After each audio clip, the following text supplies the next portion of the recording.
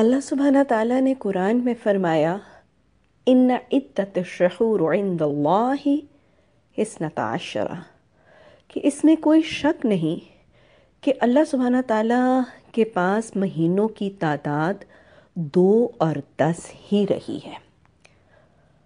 یعنی مطلب کیا ہے کہ جب سے زمین اور آسمان تخلیق کیا گیا تھا، تب سے ہی مہینوں کی تعداد بارہ ہی رہی ہے۔ اور ہمیں پتہ ہے کہ یہ مہینے دو قسم کے قدرتی یا نیچرل کیلنڈرز کے حساب سے بارہ ہیں۔ ایک کیلنڈر جو چاند کے حوالے سے، جسے لیونر کیلنڈر یا قمری کیلنڈر کہتے ہیں، یہ ہمارا اسلامی سال ہے۔ اور دوسرا جو چاند کے حوالے سے ہے، اسے سولر یا کرسچن کیلنڈر کہتے ہیں۔ اور یہ عیسائیوں کا سال جو ہے، وہ تسلیم کیا جاتا ہے۔ سب سے پہلے بات تو یہ کہ کچھ لوگ ایک دینی سوچ رکھنے والے لوگ ایک تشدد کا طریقہ اپناتے ہیں اور وہ یہ کہتے ہیں کہ مسلمان ہونے کے حوالے سے ہمارے لیے کرسچن یا سولر کیلنڈر یا شمسی کیلنڈر کو اپنانا جو ہے وہ درست نہیں اور ہمیں صرف اسلامی یا قمری کیلنڈر ہی کو اپنانا چاہیے اور وہ اس کو ایک غیر دینی رویہ یا بس اوقات اس کو گناہ بھی تصور کیا جاتا ہے۔ حالانکہ اگر آپ ایسے دیکھیں تو یہ تنگ نظری ہے۔ اور اگر میں حوالوں سے بات کروں تو دیکھیں، سورج بھی اللہ ہی کی تخلیق کردہ چیز اور چاند بھی اللہ ہی نے بنایا۔ تو وہ کیلنڈر، وہ قدرتی جنتری جو سورج سے چلتا ہے یا چاند سے چلتا ہے، معاملہ تو دونوں اللہ ہی کے بنائے ہوئے ہیں۔ تو لہٰذا دونوں میں سے کسی ایک کو اپنے معاملات کاروبار کے لیے اختیار کر لینا، کوئی گناہ کی بات، کوئی ناجائز، کوئی حرام یا کوئی غیر شرعی یا کوئی غیر اسلامی طریقہ نہیں ہوگا۔ کیونکہ اگر آپ دیکھیں تو ہمارے اسلام کے اندر بھی بہت سے معاملات کا تعین سورج کے حوالے سے ہی ہوتا ہے۔ مثلا ہماری پانچ اوقات کا کہ نماز کے اوقات کا تعین، سورج کے غروب ہونے، طلوع ہونے، ڈھلنے اور سایوں کے تعین کے حوالے ہی سے یہ نماز کے اوقات کا تعین۔ اسی طرح روزے میں سحر اور افطار کا تعین سورج کے غروب اور طلوع ہونے کے حوالے سے ہے۔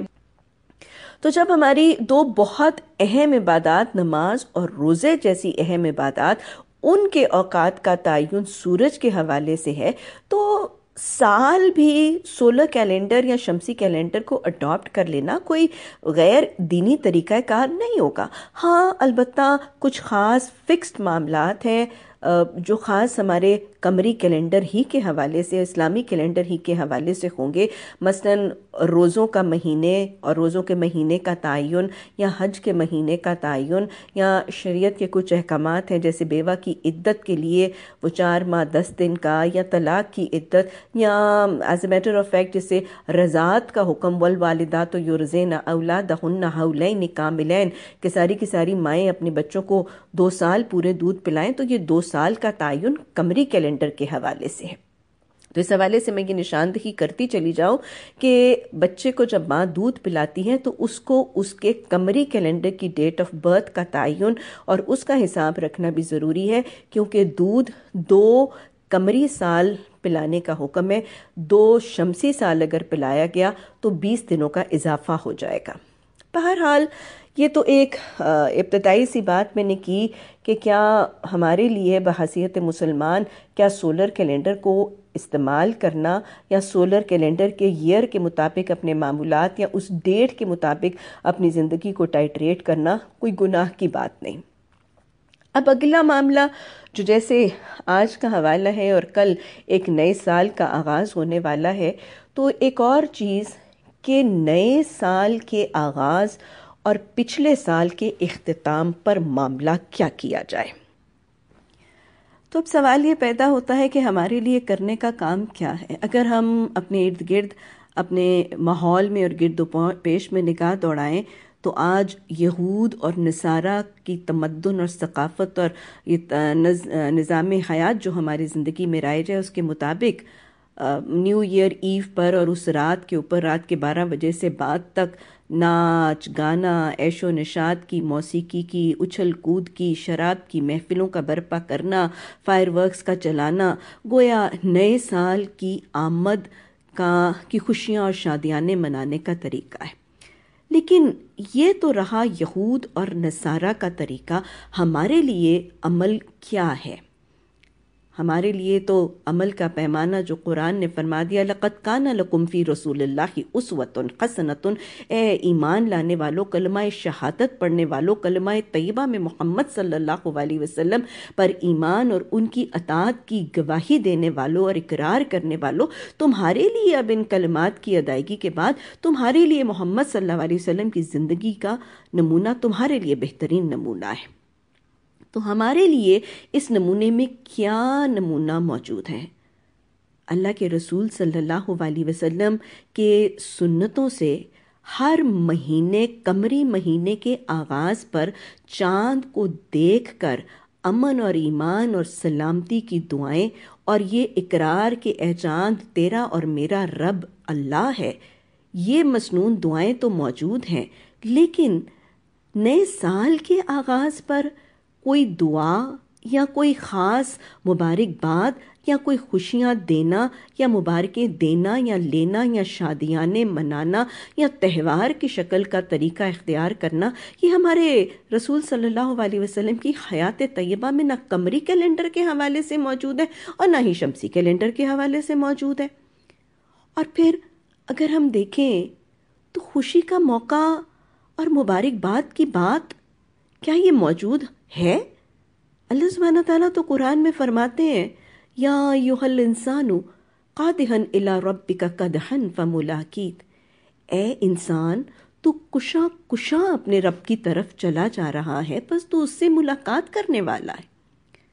تو میری بہنوں، میری بیٹیوں، یہ نیا آنے والا سال تو ہمیں ہماری اس روئے زمین پر زندگی کی میاد کے گھٹنے کا احساس دلا رہا ہے۔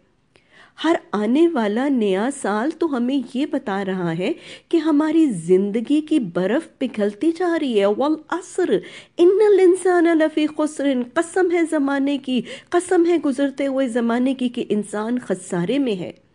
یہ تو ہمیں اس دنیا کے قیام گام قیام کے گھٹتے ہوئے وقت کا تعین بتا رہا ہے کہ تمہارا اس روئے زمین پر قیام اب گھٹتا چلا جا رہا ہے۔ اب تمہاری زندگی کا ایک اور سال گھٹ گیا ہے۔ تم موت سے ایک اور سال قریب ہو گئے ہو۔ تم سفر عدم سے مزید قریب تر ہو گئے ہو۔ تم اپنے رب کی ملاقات سے مزید قریب ترین ہو گئے ہو۔ آنے والا سال تو فکر آخرت کا پیغام لے کر آتا ہے۔ فکر آخرت کی دلیل لے کر آتا ہے۔ کرنے کا کام کیا ہے؟ مبارک باتیں دینے اور خوشیوں کی بجائے وہ ملاقات، رب کی ملاقات جو میں نے اور آپ نے یقینی کرنی ہے، جہاں پر پانچ سوالوں کا جواب یقینی دینا ہے۔ عمر کیسے گزاری؟ جوانی کیسے گزاری؟ مال کیسے کمایا؟ مال کیسے خرچ کیا؟ جو علم دیے گئے تھے، اس پر عمل کہاں تک کیا؟ یہ پانچ سوالوں کے جواب اس کی تیاری ہے اگلے سال کا کام۔ اس نئے سال کی آمد پر اگر کچھ کرنا ہی ہے تو اللہ سبحانہ تعالیٰ نے گزرے ہوئے سال میں جو نعمتیں دی تھیں ان کا ذکر کر کے ان کا شکر کریں۔ اللہ سبحانہ تعالیٰ سے دعا کریں اللہ انی اعوذ بکا من زوال نعمتک۔ اللہ سبحانہ تعالیٰ ہم آنے والے سال اور اگلے سالوں اور آئندہ زندگی میں وہ نعمتیں جو تو نے ہمیں پچھلے سال میں دی، ان کے زوال سے ہم پناہ مانگتے ہیں۔ اور پھر وہ نعمتیں جو رب کی استعمال کی، ان کو ان کو یاد کر کے یہ احساس کریں کہ اس خالق نے، اس مالک نے، اس رب نے جو نعمتوں سے نوازا، ان کے بدلے میں میرا رویہ کیا تھا؟ اس سال کے آمد پہ کرنے کا کام آج کی رات اگر کچھ کرنا چاہتے ہیں، تو وہ جو فرمایا گیا کہ حساب لیں اس سے پہلے کہ حساب لیا جائے، اور وہ جو فرمایا گیا کہ وہ شخص کامیاب ہو گیا جس کا آنے والا کل اس کے گزرے ہوئے کل سے بہتر ہے۔ کرنے والا کام اگر کچھ کرنا ہے تو آج کی رات اپنے گزرے ہوئے سال کا بے لاگ محاسبہ کر لیجیے کڑا بے لاگ محاسبہ کریں۔ میرا یہ گزرا ہوا سال میرے عمل، میرے اخلاق، میرے معاملات، میری عبادات کے حوالے سے کیسا تھا؟ میں نے حقوق اللہ کی ادائیگی میں، حقوق العباد کی ادائیگی میں، اپنے معاملات میں، اپنے اخلاق میں، قرآن کے ڈوز اور ڈونٹس میں، امر میں نواحی میں، منکرات میں، حدود اللہ کے تجاوز سے کتنا پرہیز اور کتنا اجتناب کیا۔ میں نے اللہ کی بندگی کا حق کتنا ادا کیا۔ میں نے فکر آخرت سے آخرت کی تیاری کا معاملہ کتنا کیا۔ اپنے آپ کو کٹہرے میں کھڑا کیجیے آج کی رات۔ اپنا محاسبہ کیجیے، محاسبہ کڑا اور بے لاگ کیجیے، کوئی لاگ لپٹ مت دیجیے، اور جو کمیاں کوتاہیاں ہیں، ان کا اعتراف کریں، برحق کریں، برملا کریں، اعتراف کرنے کے بعد نادم ہو جائیں، پشیمان ہو جائیں۔ اے اللہ، سارا سال تیری نعمتیں لیتے رہے، استعمال کرتے رہے، کھاتے رہے، پیتے رہے، اڑاتے رہے، لونڈھاتے رہے، اور اس کے بدلے میں رویے کیسے رہے؟ ناتم ہو جائیں، پشیمان ہو جائیں اور رو کر استغفار کر کے اپنی کمیوں اور کتاہیوں پر کثرت سے استغفار کر کے اپنے دامن کو گناہوں کے دھبوں سے پاک صاف کر کے رات کو سو کر اپنے نئے سال کا نئے عزم اور اصلاح کے عزم کے ساتھ آغاز کریں۔